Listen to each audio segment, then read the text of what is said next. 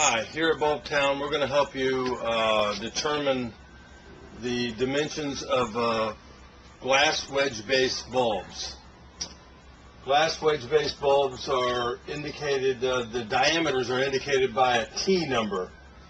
You'll see the different uh, sizes here. The T actually determines that it is a tubular shaped bulb, flat on the sides and usually round on the top.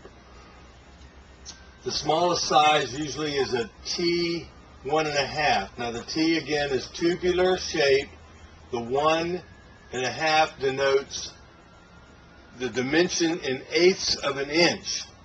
So if this is actually a T2, it would be a quarter of an inch. It would be two eighths. But this is a T one and a half, which is equal to 3 sixteenths. A T one and three quarter is equal to a 7 32nd inch of an inch. Uh, T T and a quarter is 9 32nds.